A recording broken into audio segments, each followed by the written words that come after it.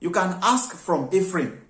In Hosea chapter 4 verse 17, the Bible says, Ephraim is joined to idols. Let him alone. He is no longer connected with me. I cannot continue with him. And there is no way you can conquer if God is not with you. So if you want to conquer, stay connected with God. It is good. It is your connection with God that will direct the right people that you have to connect with. Please, let's take this one very serious. Stay connected with God. John chapter 15 verse 4 says, John chapter 15 verse 4 says, abide in me and I in you. That's the power of connection. Why? As the branch, you cannot bear fruit of itself except it abide in the vine. No more can ye except ye abide in me. Abide in Christ. If you want to conquer, abide in Christ. Stay connected with Christ. In the place of prayer, in the place of commitment, in the place of studying the Word of God, in the place of living a holy life, stay connected with God.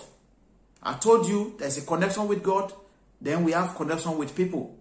Of course, there are lots that everybody, you know about that. But it seems we are yet to get it right in the place of connection with God. There are subcategories under the connection with God. You can be connected with His name. You can be connected with His person. You can be connected with His methods. You can be connected with His, I mean, the faith is faith. You can be connected with His ways. Yes. These are some of the connections that, is it, connection must be a holistic one. Stay connected with God. Now let's look at connection, connection with His name. You see, it is possible for you to pick an aspect of these connections and you will get results. But it must be what? Total. For you to get a comprehensive result. Remember that leper, the 10 lepers that were healed. And uh, they received their healing because they had contact with Jesus. Don't forget that. That's first phase. But one returned and uh, to give thanks. That's the power of connection. That's exactly what we read about David. He returned to his father's sheep at Bethlehem. Some of us, we've forgotten our Bethlehem. Bethlehem is a place of connection. Bethlehem is a place of, of, of, of, of uh, joining yourself with God. It's a place of encounter. It's a place of refreshing. It's a place of building testimony. If you have not been to Bethlehem, you cannot have testimony to share when you are confronted with Goliath. The testimonies that David shared when he was about to kill Goliath that made Saul to agree that say, okay, you can go. He gathered those testimony at Bethlehem, where he was taking care of his father's sheep. May I ask you, where are you now? You've lost your connection. You've known to be this. And you see, it's very easy for us to deceive people. Even though we don't intend to deceive them. They've known us to be this. They will still believe that we are still that. But we might have lost connection. Please go back to God. Stay connected with God. It is, I said it is possible to be connected with the name of God. Yes. That is why he said in the book of Matthew chapter 7 verse 22 that some will say in your name we cast out demons, but I will tell them, I don't know you.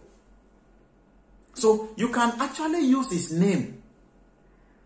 But you must abide in his name. Excuse me. You must abide in his name for you to conquer. I pray the Lord will help us in the name of Jesus. So don't just say, oh, I'm going to the church. Ah, I will get connected with his name. The pastor can pray for you and you get blessings. But heaven might be looking for you. You can get a miracle from man of God. But God might be still be looking for you. I pray the Lord will open our understanding. So you can be connected with his name. But God wants you to be connected with his person. With his person. Matthew 5:48 says, Be ye holy as your God in heaven is holy. Be connected with his person. Some of us are connected with his methods. We know how he speaks. We know some of the ways by which he has been speaking with us. But if you are not connected with his presence, that might not be effective. I pray the Lord will help us in the name of Jesus. What of his methods? Remember Samson. Samson's method is to rise and fight the Philistine. But when he sinned and the power of God left him, in Judges chapter 16 verse 20, Judges chapter, uh, chapter 16 verse 20, the Bible says, and he awoke out of his sleep and said, I will go out as at other times. Your connections will not be based on as at other times. You must renew your connection. Oh my.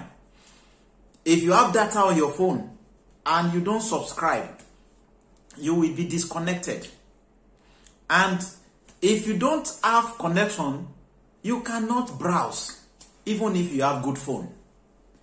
If you have credit on your phone and you don't subscribe deliberately, you won't have access to data. So we must take conscious effort to renew our connection with God.